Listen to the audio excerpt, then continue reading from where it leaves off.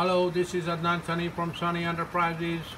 We are going to show you uh, one of the many valves in hydraulics. This is called the two-way cartridge valve for directional valve, directional control.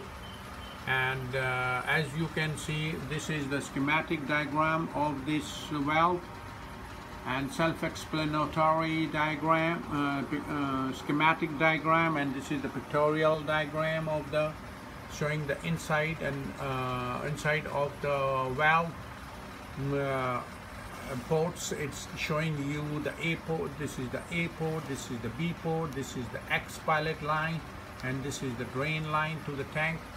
This is the coil and this is the spool in the uh, directional control valve. So um, this is actually it looks like it's like this two-way cartridge valve for directional control valve. Two-way cartridge valve for directional control valve. The cover is model number LFAWEA and the cartridge is LCA model number. The red line is the oil under pressure and the blue line is the drain line and the green line is the A line. So as you can see this is one of the many types of directional, many types of the valves in hydraulics. Two, this one is called the two-way cartridge valve for directional control.